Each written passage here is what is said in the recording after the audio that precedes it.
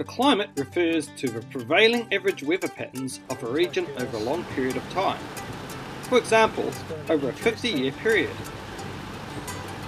Weather is the daily atmospheric conditions consisting of precipitation, temperature, humidity, wind, and sunshine. Around the world, there are different climate zones. In some regions, there hot and dry deserts. In other places, there are warm and wet tropical rainforests, while other places are covered in ice. Why is this so? Now let's examine the main factors that influence the climate of a region. Latitude refers to the location on the globe in relation to the equator.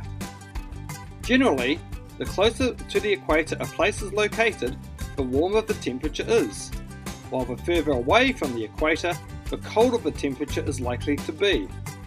This is because on the equator, sunlight strikes the Earth at roughly a 90 degree angle.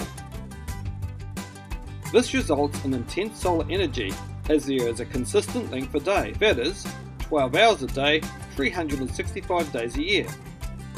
Regions close to the equator have warm temperatures all year round.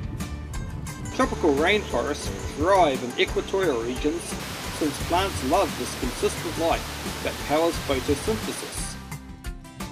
Because the Earth is spherical, this solar energy diminishes as you move further north or south of the equator. Regions closer to the poles have four seasons and very cold winters. Altitude refers to the height above sea level. Saturated air cools at a rate of 0.6 degrees Celsius per 100 vertical meters, so at 1000 meters it will be 6 degrees cooler than at the same altitude at sea level. Therefore, high altitude regions such as the Tibetan Plateau will be much cooler than other locations at sea level on a similar latitude, such as Shanghai. Mountains can also influence climate in other ways. For example, they can produce what is known as orographic rainfall. This occurs when moist air is forced to rise over mountains. The windward side of the mountain will have a wet climate, while the sheltered side usually has a drier climate. We call this the rain shadow area. For example, in New Zealand's South Island, the prevailing westerly winds force moist air from the Tasman Sea to rise over the Southern Alps.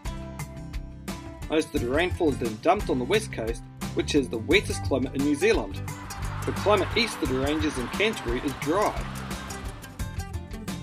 Relief features can also cause wind funneling.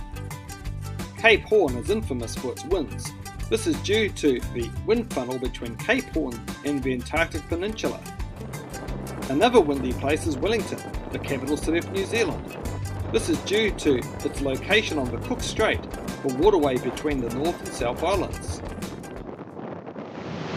This tunnel is having the effect of being an artificial wind funnel. It's blowing like crazy here.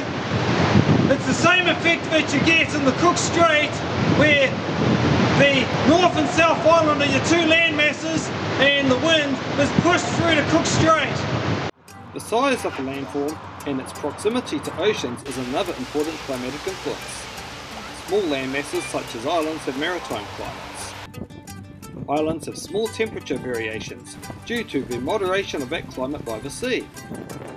Auckland in New Zealand, for example, has a relatively low temperature variation, being located on an isthmus surrounded by water with a harbour on either side. Auckland's average daily maximum temperature is 23.7 degrees Celsius in February and 14.5 degrees Celsius in July, which is a range of only 9.3 degrees Celsius. Even on large land masses, coastal lowlands have moderate temperatures all year round as they are moderated by moisture-laden sea breezes. For example, Sydney, Australia. Large continental landmasses such as Asia have extremes of climate. For example, one town in Russia has the largest temperature range in the world. Average monthly temperatures range from minus 45 degrees Celsius in January to 16 degrees Celsius in July, a temperature range of 61 degrees. Ocean currents have a big influence in climate. 70% of this planet is ocean. When an air mass passes over a warm ocean current, the air mass is warmed.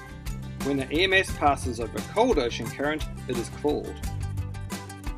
Finally, the world is divided into a series of air pressure systems. Some are high pressure and some are low pressure. Air pressure is measured in millibars, with low pressure being associated with high winds, rainfall, and warm air. High pressure is associated with clear skies and a greater temperature range since there are no clouds to block incoming solar radiation during the day and no cloud to stop radiation escaping during the night. There are high pressure areas at the poles and subtropics, and low pressure cells at the tropics and subpolar regions.